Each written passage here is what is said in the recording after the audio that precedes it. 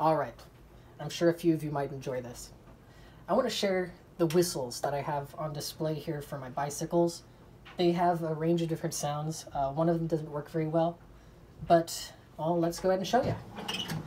The first one is a very typical police whistle. It's called the Metropolitan. It was made by J. Hudson and Company, uh, Barr Street, uh, Hockley, Birmingham. Now, this is going to be pretty loud. I want to start off with this one because it's probably my least favorite sounding one, and you'll see why when we get deeper into the video, but here it is.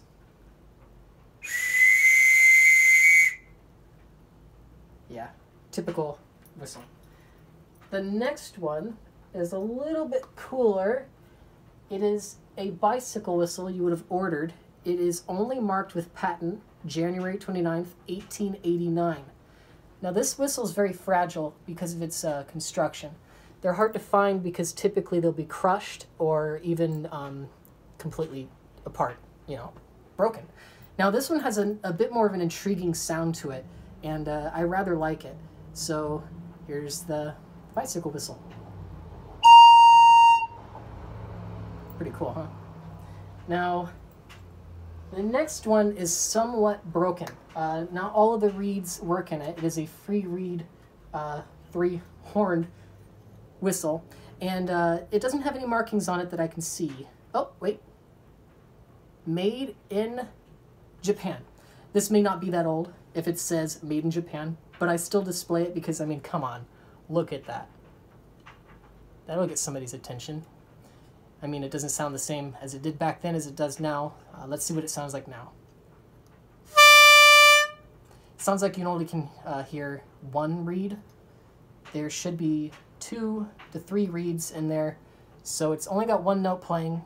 Disappointing, but it still looks really cool. Now for my favorite.